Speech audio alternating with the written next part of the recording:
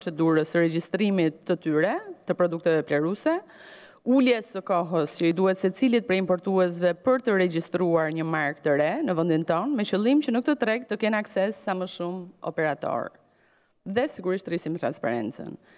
Nga ana tjetër, çfarë ne kemi në fokus kryesisht dhe është pjesë e rëndësishme e punës tonë, është kontrolli i cilësisë, kushteve të ruajtjes dhe tregtimit të produkteve plehëruese, të cilën nëpërmjet AKU-së kemi përgjegjësinë direkte për ta kontrolluar dhe për të parë konformitetin e tyre me regjistrimin dhe me etiketat, çka për çka unë në fakt ju informoj se kemi marrë një fushatë shumë të thelluar, duke parë mjaft mirë Çfarë kanë në magazinat e tyre këto importues, çfarë tregtojnë, çfarë përdorin fermerët në farmacitë bujqësore dhe së fundmi do t'i detyrojmë dhe fermerët që në fermat e tyre të mbajnë një fletore shumë shpejt dhe elektronike, ku të marrim informacion se çfarë plehrash përdorin fermerët dhe të kemi mundësinë këtë ta konsolidojmë pastaj dhe ta krahasojmë me inventarin e këtyre produkteve në farmacitë bujqësore. E kemi shumë të rëndësishme sigurinë ushqimore dhe ajo fillon nga ferma.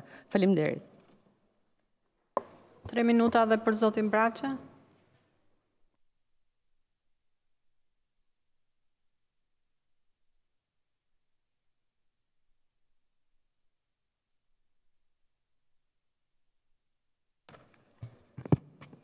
Kam përshtypjen që i flasim dy gjuhë të ndryshme.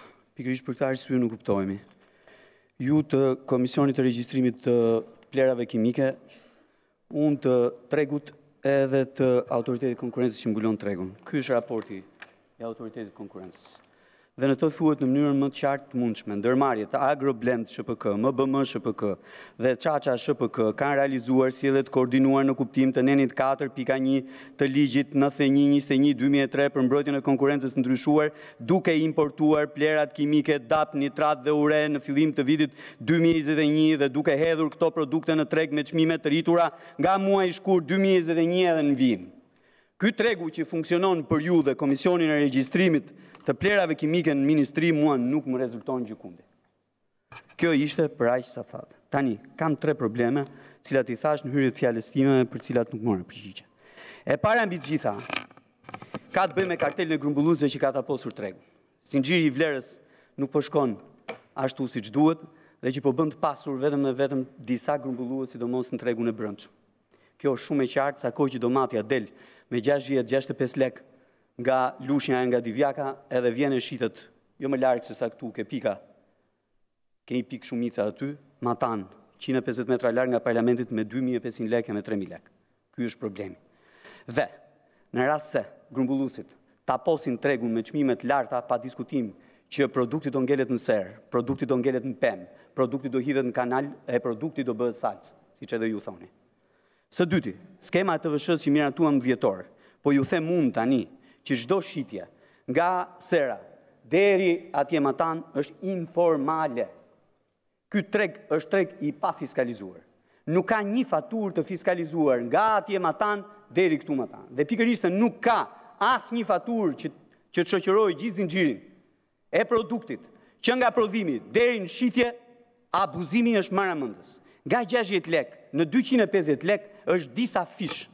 Disafish që detyron konsumatorin këtu në qytet, këtu në qytet, që natyrisht ul konsumin e vet dhe duke ulur ai konsumin e tij, prodhimi ngelet atje matanë, në sera. Shkojmë nesër bashkë e i shohim se si janë serat plot. Ndërkohë që këtu shitet me 250 lek, me 2500 lek, domatja ndërkohë njerëzit atje s'marrin as lekët, për cilat unë fola këtu e bëra llogari. Dhe e treta që është shumë e rëndësishme është humbja e krahut të ri të punës. Këta djem që po punojnë sot në bujqësi dhe nuk fitojnë asgjë u bie më lirë të shkojnë të punojnë muratorë në Mal të Zi me dyzet euro dita se sa të vazhdojnë të merren me bujqësi atje ky është problemi në qoftë se doni pleqtë në bujqësi ata i keni sot po nesër as ata s'keni për t'i pasur për shkak të fundit biologjik të tyre ky është problemi